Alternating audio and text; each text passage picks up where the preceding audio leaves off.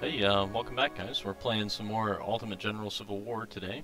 Um, this playthrough, we're going to start a new campaign and we're going to showcase uh, Johnny H13 and Panda Kraut's um, modded rebalance mod. And it is currently at 1.28.2, but I believe now their latest version is like T10 of 1.28.2. Um, but I have tailored the game and changed some of the text files a little bit to kind of uh, give it a little bit of a more realistic feel in my opinion.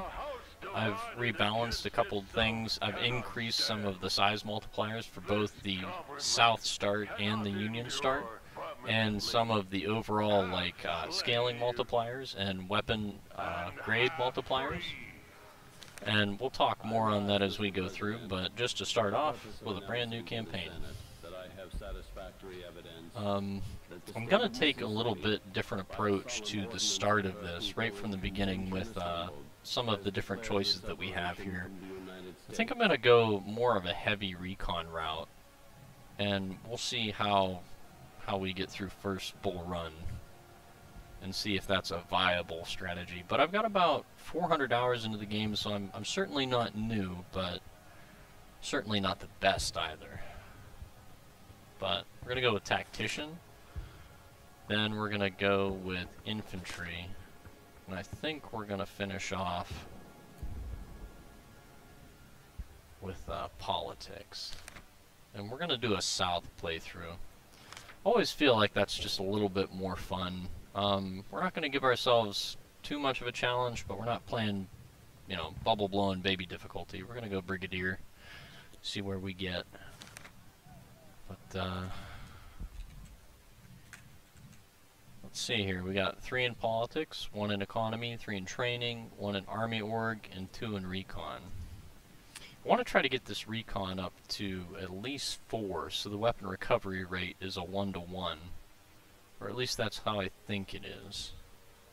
But this is a very useful stat. Most people don't put enough points into this early on. A lot of players, especially South playthroughs, they want to go through and do heavy politics. But I think this is going to be an interesting playthrough.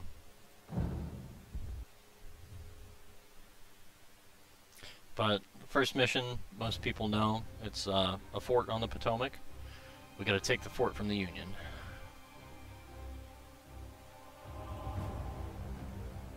One thing right off the bat that some people might notice too is that these units start a little bit larger than they normally would. Uh, for people who have played before, you're going to notice that right off the bat. But just to explain what I'm doing here, I'm going to go through and instead of going straight ahead where some Union skirmishers deploy, I'm going to flank that position. I'm going to go a little bit further left.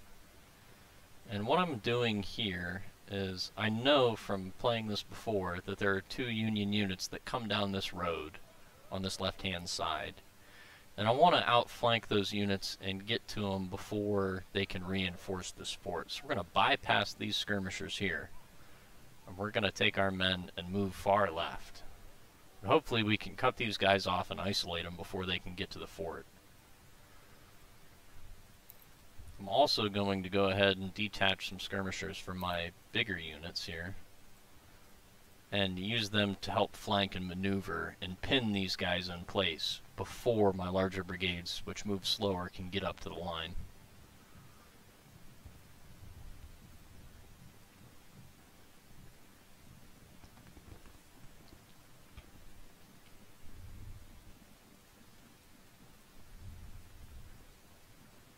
We should be making contact with them any time now. If they're coming out right here, that tells me that these Union brigades are over in this area somewhere at this moment, even though we haven't spotted them yet.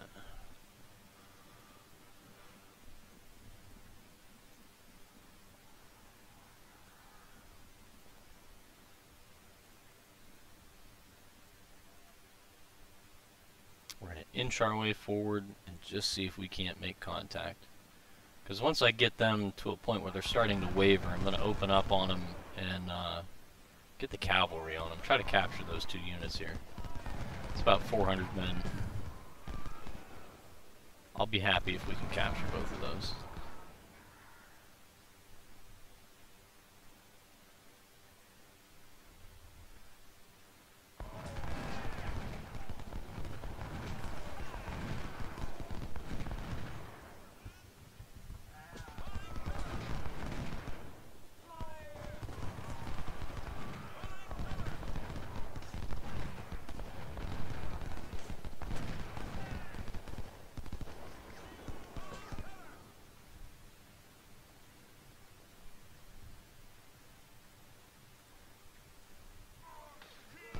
To cover quickly some of the changes that I was speaking on earlier, I have gone ahead and given the Union Army a 10% increase in size in general throughout the entirety of the campaign.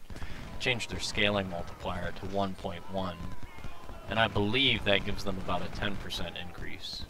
I've also gone ahead and changed their uh, weapon scaling multiplier to 2.25, two and a quarter, so um, from what little I've played so far, they have much better weapons than you, like, right off the bat. Uh, I wouldn't be surprised if at full, first bull run the majority of their army is armed with Springfield 61s.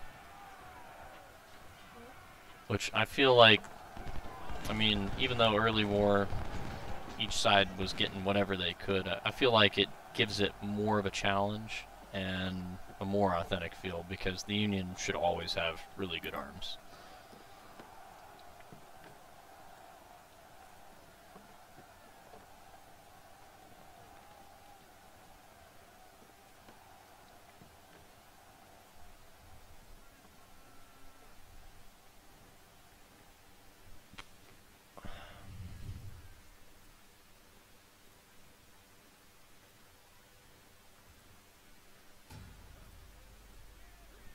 Yep, and there are those Union brigades, and the time it took us to get rid of those guys, they're up here now.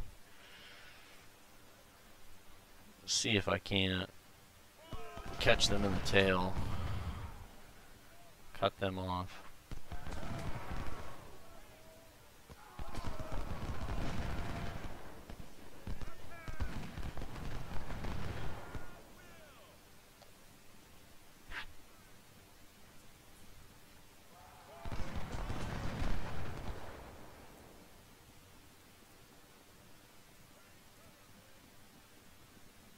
Speed this up just a little bit.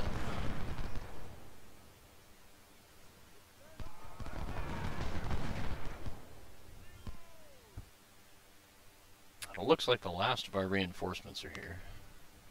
Go ahead and skip through that. We're going to push these guys straight up as quick as we can get them.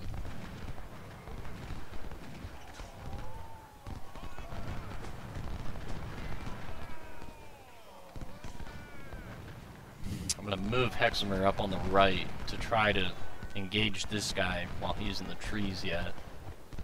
Slow them down, and then once we break and rout these guys or capture them, we can swing up and get him too.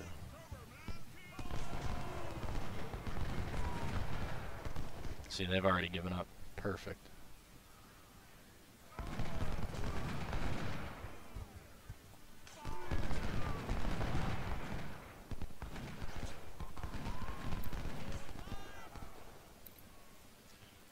quickly grab some skirmishers off of these guys and get them ahead.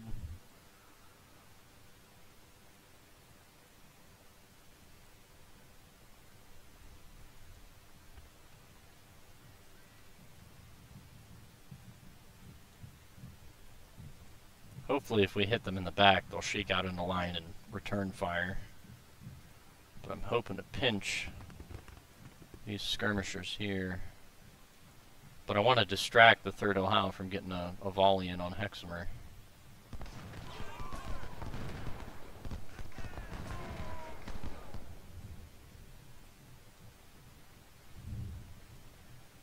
They should be somewhere right, oh, right there.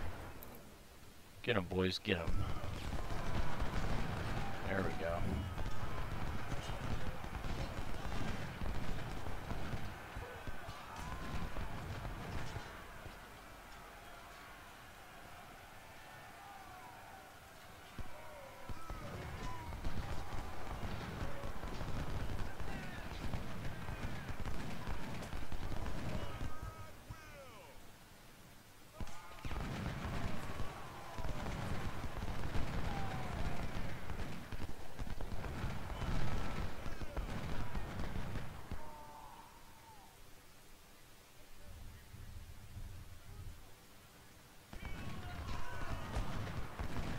Move these skirmishers out on the right. Get these guys out of here. They already have 1842s.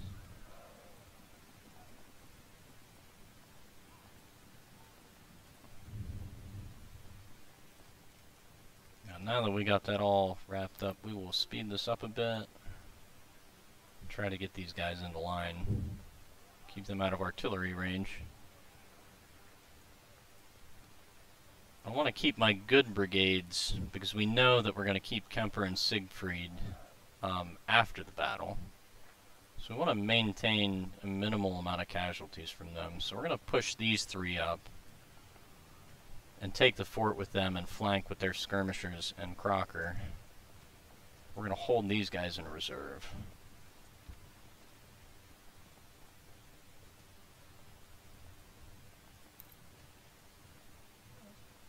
And to make sure that these guys maintain their spacing, I'm not going to put them on individual units. I'm going to give them a movement order beyond the enemy unit, and once they get within range, they'll do their own volleys and engage. But until that time, we're going to do just this to maintain that spacing. So that way they're not bunched up on each other and trying to shoot, and units are blocked, blah, blah, blah. I'm sure plenty of people who watch this will already be veteran players and know what's going on. I don't mean to insult anybody's intelligence be like, oh, I've played this game a thousand times. I don't have to explain things like that to me. Because I've met people like that. also been that person too, so... Um, we'll have this fort in no time. We'll be on to the second half and this this first mission goes pretty pretty quick, especially when you have the files set the way that I have. And I kind of like it that way because when you're trying different perks and different like playthroughs, it makes it easier to get through like just the first grind of the first couple battles. But once you get to Shiloh, that's when the challenge is really there. Um, the Union definitely has a lot of advantages, even though we kind of breezed through this first part here. It's not like we've taken everything from them. In fact, we've given them quite a bit. But we're going to go ahead and give these guys the bayonet and try to capture them real quick.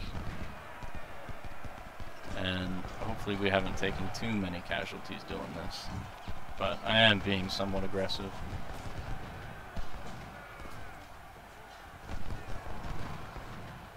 Get those Ohio boys out of the way so they don't get set free. I've found a lot of times when you go into a melee melee like that, um, enemy units that surrender, they have a chance. Like if they get a little too close to a friendly unit, they they instantly come back and start fighting again. It's a pain. But seven seconds here. We took that pretty quick. We'll be on to part two. All right.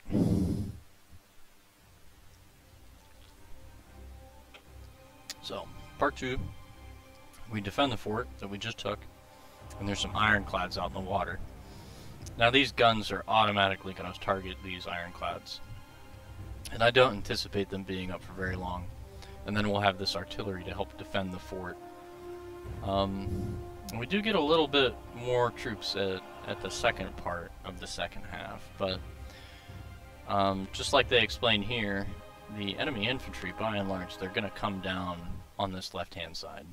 And they're going to bunch up right here. So what I've found is if I detach skirmishers and then quickly pull them along with one brigade out into the trees over here on the left, or on the right, um, and I hide them so the enemy AI can't see them I can wait until they bunch up here and then come in from the back and encircle them. And that, that tactic works pretty good. And you can already see they're starting to come up. I've sped it up a little bit.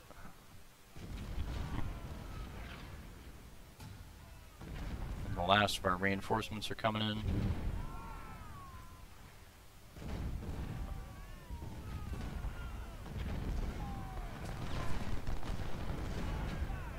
Alright. Now, now that the battle is underway, we'll get these skirmishers out here.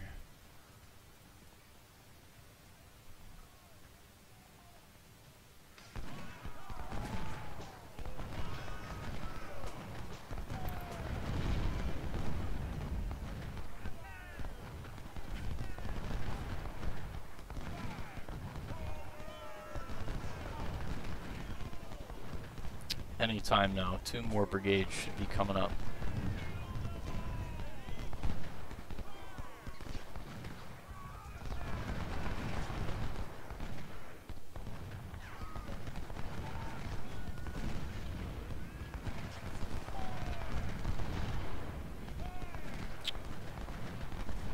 put Siegfried to the left of his units. Try to try to sweep in from the back. Supply train is always in the rear here. That's just free real estate. Chase the general away, grab the supply train. And then I don't want to rush this cavalry into these guns. But we might end up doing that because this is shaping up where everybody that could help is just a bit too far away. So we're going to send him to chase that general, get these supplies out of here. Hopefully those two brigades will be here soon.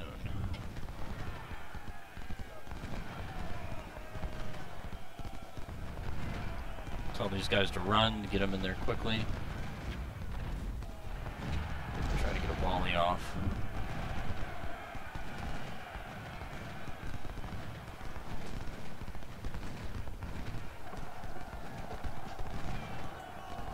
Alright, last of our troops are here.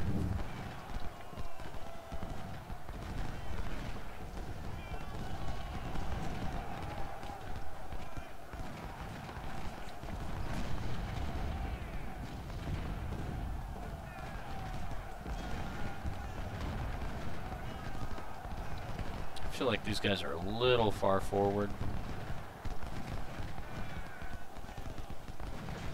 Gotta get Canfield up here too. We're gonna try to find these skirmishers that just routed out this way, and then hit these guns from behind. That might have been a bad move, I can't tell just yet, but I don't want to lose too many of these cavalrymen. Even if we just get these guns to turn.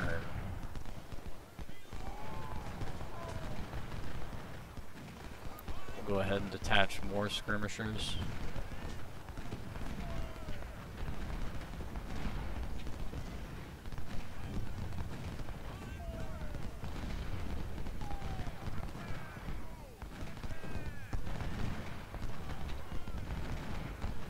Looks like we're doing good so far.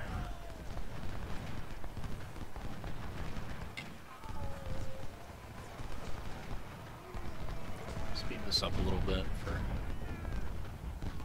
expediency's sake. I have to say I'm pretty excited. I'm, I'm eager to get into the to the meat of this campaign and get the Bull Run. I, I'm I have to say probably one of my favorite things about this game is just sitting in the headquarters, organizing the army, and arming the troops, and figuring out like the order of battle how we're going to do things. I think that that's something that a lot of players don't put enough thought into.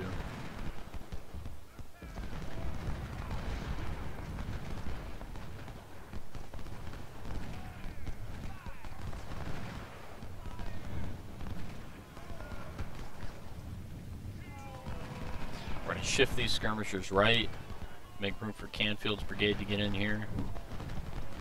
We'll start hitting these guys on the side.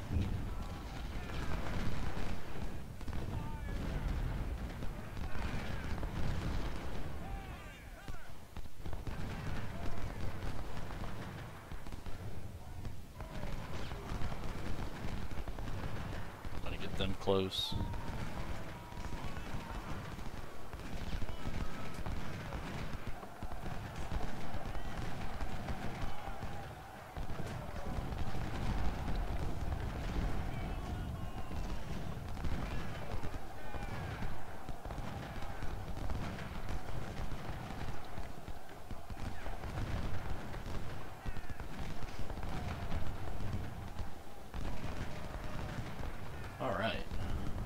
them just gave up, which is good.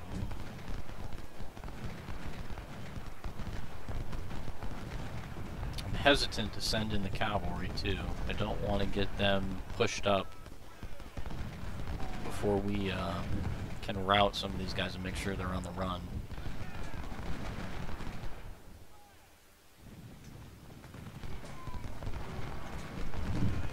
Something that I didn't mention, but I will just make note of now. I have changed the percentage size that skirmishers detach at. So the larger the brigade, the larger the amount of skirmishers they will deploy.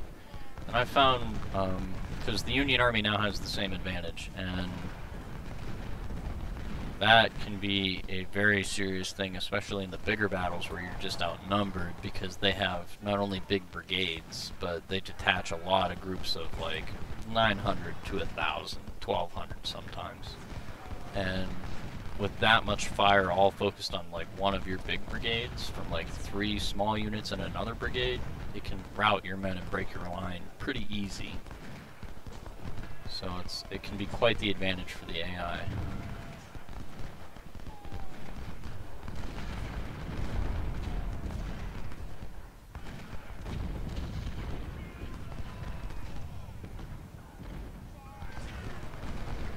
Call Bernie off the ramparts and rush him down. Trying to get these skirmishers up. Got him in a pretty good pile now.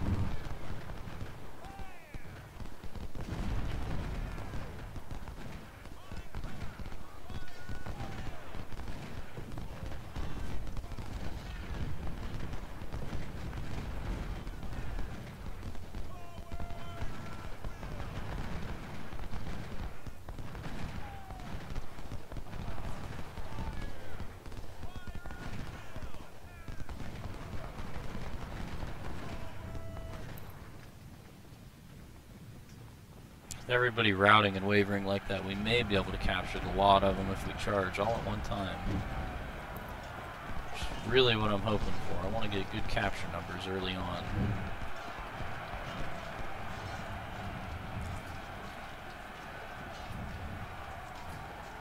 There we go. Alright, very good. So we lost 66 killed of our own, 186 wounded, 14 missing, but we got quite a few and captured quite a few. Um, one of the other things that I changed is the baseline weapon recovery is now 30%. And I feel like that reflects reality in, like, if you win a battle and you kill 20,000 men, you should at least be able to recover a few thousand rifles from the field. Um, and that's that's reflected here. I mean, you can see clear as day, even this early on, we've gotten quite a few weapons. And kill counts were good. Everything was kosher.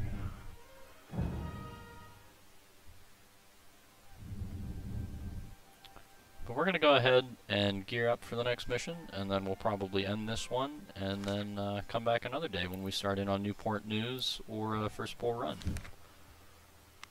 But we're going to talk a little bit now about how to set up your divisions and your order of battle. Um, some good ways to think about setting up your units, especially for some of these early battles. I like to balance army organization as I progress through the campaign. I don't like to put more points into this than what's absolutely necessary at the time that you win battles. So early on you can only bring a certain amount of brigades to each battle.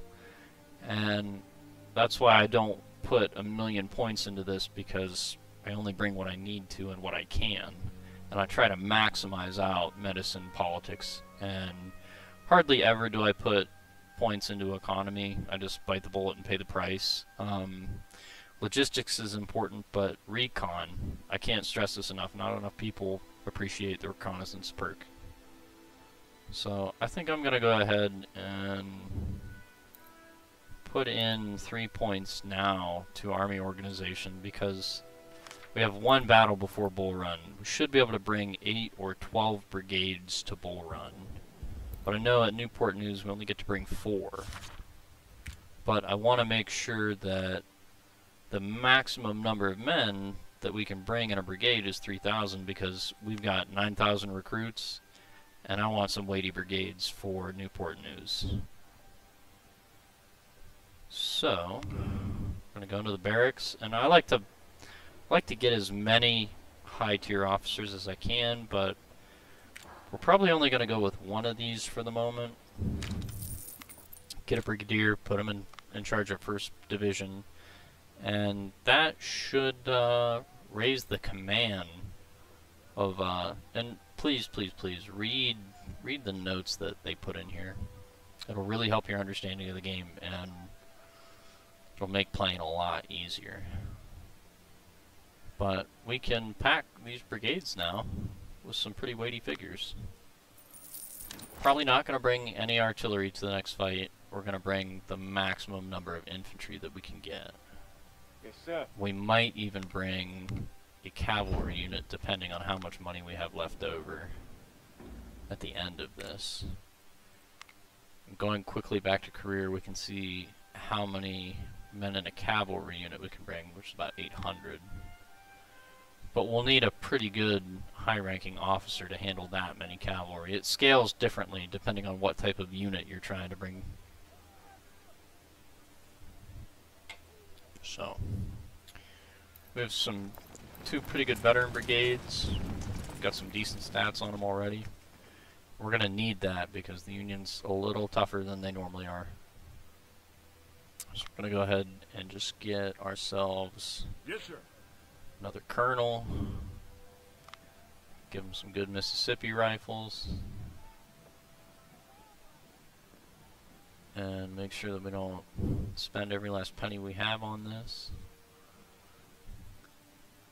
About 2,000 boys. Then we're going to go ahead and get a cavalry unit.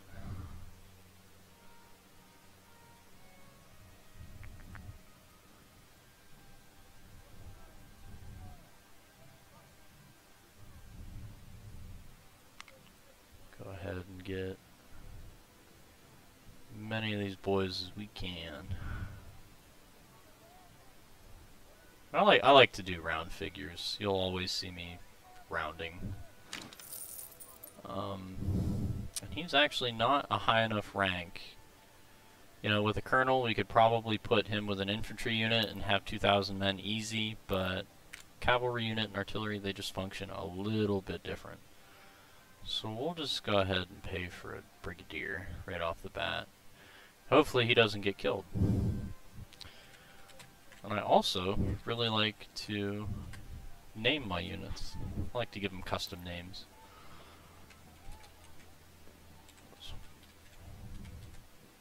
Kemper's Brigade calls Siegfried's Germans.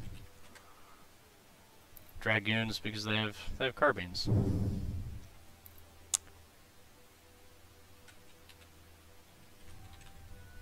Because these guys aren't really experienced, I'm gonna call them home guard because you know when I when I think of inexperienced units, I think of militia or like the Richmond Home Guard. They're not the front line best of the best. They're they're the inexperienced guys that are sitting in trenches. So we're gonna go ahead and just get an extra officer now. Spend the points, take the morale penalty.